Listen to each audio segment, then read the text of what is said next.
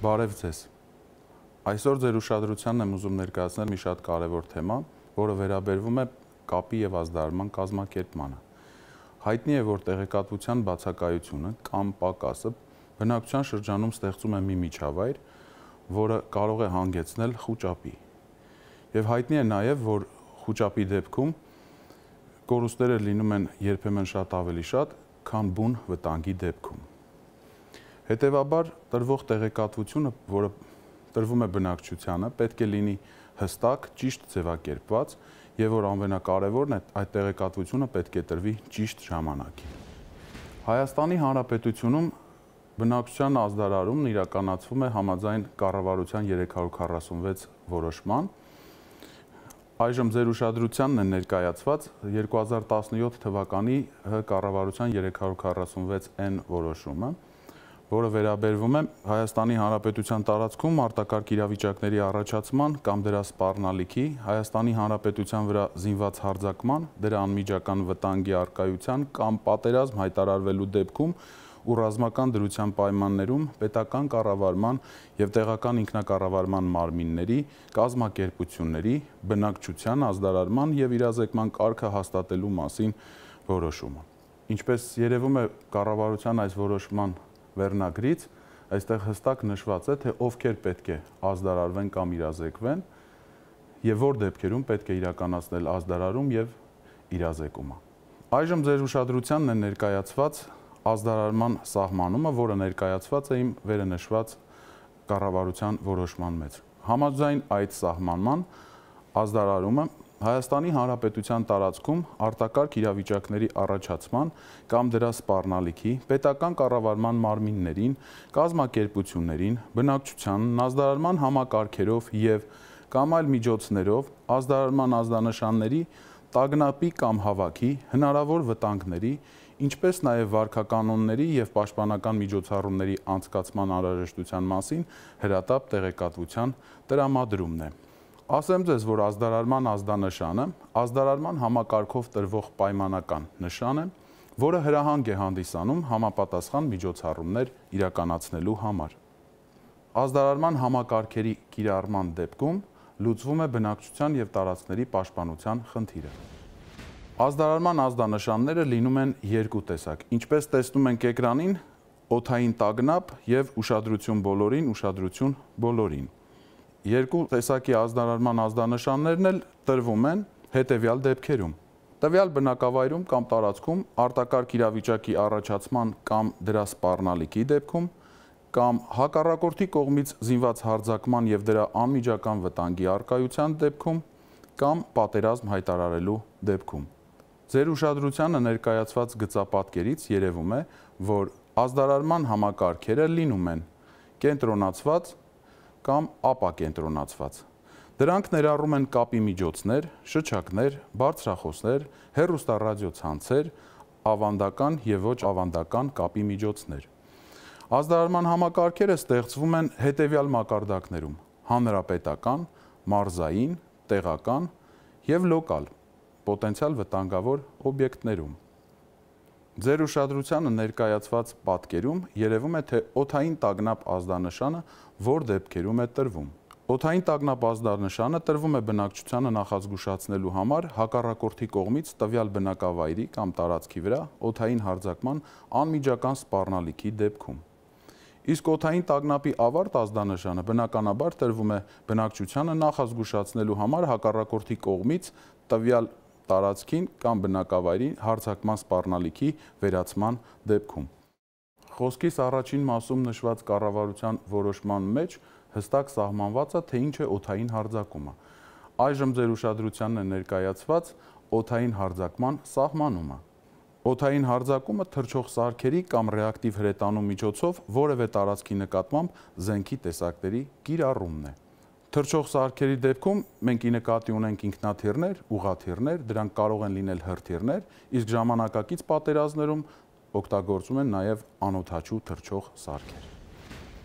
Այժմ ձեզ կներկայացնեմ, թե ուշադրություն բոլորին, ուշադրություն բոլորին ազդանշանը որ դեպքերում են տրվում։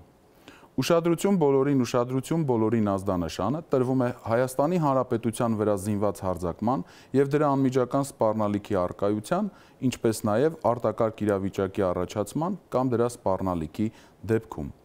Ասեմ ձեզ, որ ազդարարման ազդանշանները տրվում են կապի եւ ազդարարման բոլոր միջոցներով,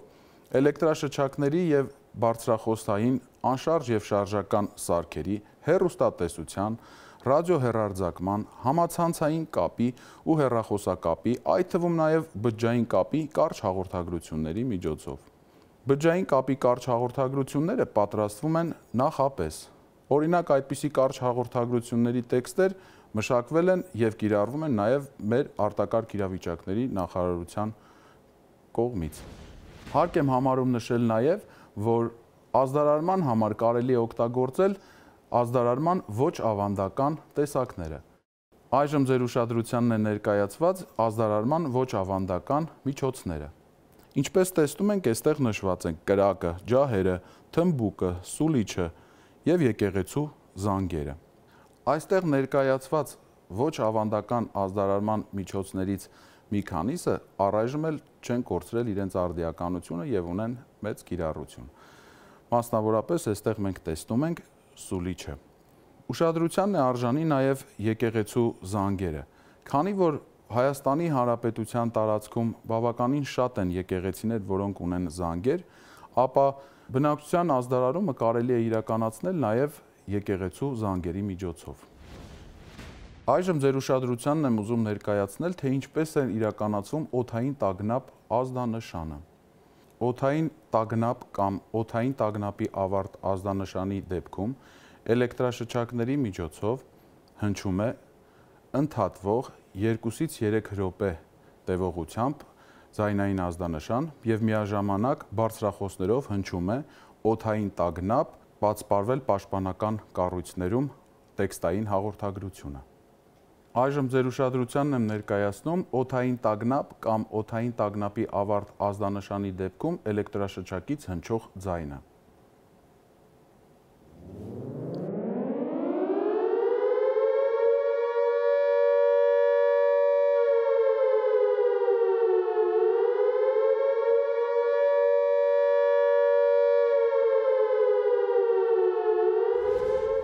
Օթային տագնապ ազդանշանի դեպքում Հայաստանի Հանրապետության նախարարությունները, գերատեսչություններն ու կազմակերպությունները պետք է կազմակերպեն ենթակա մարմնի եւ նրա ստորաբաժանումների անձնակազմի, իսկ մարզպետարաններն ու տեղական ինքնակառավարման մարմինները համապատասխան մարզի եւ համայնքի բնակչության պացպարումը կամ դուրսբերումը պաշտպանական կառույցներում բնակչությունը պետք է պատսպարվի պաշտպանական կառույցներում, օթային տագնապի ավարտ ազդանշանի դեպքում նշված կառույցների աշխատակիցները եւ բնակչությունը պետք է դուրս գա պաշտպանական կառույցներից։ Ուշադրություն բոլորին, ուշադրություն բոլորին ազդանշանի դեպքում էլեկտրաշչակների միջոցով տրվում է չընդհատվող ձայնային ազդանշան 2-ից 3 րոպե տևողությամբ։ Միաժամանակ ազդարարման միջոցներով տրվում է ուշադրություն բոլորին բովանդակությամբ համապատասխան տեքստային հաղորդագրություն։ Օրինակ, ճառագայթային վթարի դեպքում կարող է տրվել ուշադրություն բոլորին, ուշադրություն բոլորին,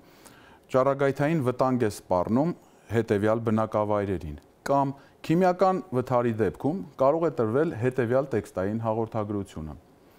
Ուշադրություն բոլորին, ուշադրություն բոլորին։ Քիմիական տագնապ վտանգ է սպառնում հետևյալ թաղամասերին, շենքերին, եւ այլն։ Մեկ այլ պարագայում կարող է տրվել ուշադրություն բոլորին, ուշադրություն բոլորին։ Մանրեաբանական վտանգ է սպառնում հետևյալ շենքերին, բնակավայրերին։ Այժմ ձեր ուշադրությանն եմ ուզում ներկայացնել ուշադրություն բոլորին ազդանշանի դեպքում էլեկտրաշչակից հնչող չընդհատվող ձայնային ազդանշանի ձայնը։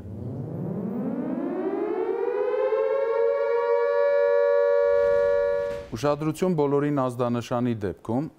քաղաքացիական պաշտպանության կառավարման մարմինները եւ փրկարար ուժերը պետք է կատարեն համապատասխան պլաններով, ծրագրերով կամ այլ փաստաթղթերով նախատեսված միջոցառումներ։ Ուշադրություն բոլորին ազդանշանի դեպքում բնակչությունը պետք է կատարի արտակարգ իրավիճակների նախարարության կողմից տրվող պաշտոնական հրահանգները։ Այժմ ձեր ուշադրությանն եմ ուզում ներկայացնել, թե օթային տագնապ ազդանշանի դեպքում ինչպիսի միջոցառումներ պետք է իրականացնել։ Օթային տագնապ ազդանշանի տրման դեպքում կարևոր է թե մենք որտեղ ենք գտնվում, որպես իմանանք թե ինչ գործողություններ պետք է իրականացնենք։ Մասնավորապես տանը գտնվելիս պետք է մինչև բնակարանը լքելը, անջատել գազամատակարարումն ու էլեկտրասնուցումը, փակել ջրի ծորակները, վերցնել առաջին անհրաժեշտության դեղամիջոցներն ու անձը հաստատող փաստաթղթերը, որոշակի քանակությամբ սննդամթերք, ջուր եւ արագ առանց խոճապի պատսպարվել նախատեսված թաքստոցներում։ Հասարակական շենք շինություններում գտնվելիս անհրաժեշտ է առանց խոճապի դուրս գալ փողոց եւ փորձել գտնել մոտակա թաքստոցը։ Փողոցում եւ բաց տարածքներում գտնվելիս անհրաժեշտ է առանց խոճապի մատնվելու որոշել մոտակա թաքստոցի տեղը եւ պատսպարվել այնտեղ։ Թաքստոցների բացակայության դեպքում կարելի է պատսպարվել ճանապարհամերձ արվակների, հեղեղատարների համար նախատեսված կառույցներում, տարբեր տեսակի փոսորակներում, թմբապատնեշների եւ ոչ բարձր պատնեշների հետևում։ Խաղակային տրանսպորտում գտնվելիս չլքել տրանսպորտային միջոցը ընթացքի ժամանակ եւ չխոչընդոտել վարորդի գործողություններին։ Տրանսպորտային միջոցի կանգնելուց հետո արագ, բայց առանց խոճապի դուրս գալ փողոց եւ պատսպարվել մոտակա թաքստոցում։ Օթային տագնապ ազդանշանը լսելիս արտադրական տարածքներում գտնվողները պետք է դադարեցնեն բոլոր տեսակի աշխատանքները, անջատեն արտադրական եւ տեխնոլոգիական բոլոր սարքավորումները, գազամատակարարումն ու էլեկտրասնուցումը, իջեցնեն սարքավորումներում օդի, գազի, ջրի եւ թթվածնի ճնշումը, որից հետո պատսպարվեն թաքստոցներում։ Եվ վերջում բոլորիդ կցանկանայի հերրու լինել արտակարգ իրավիճակներից եւ այսօրվա ստացված գիտելիքները ձեզ պիտանի չլինեն։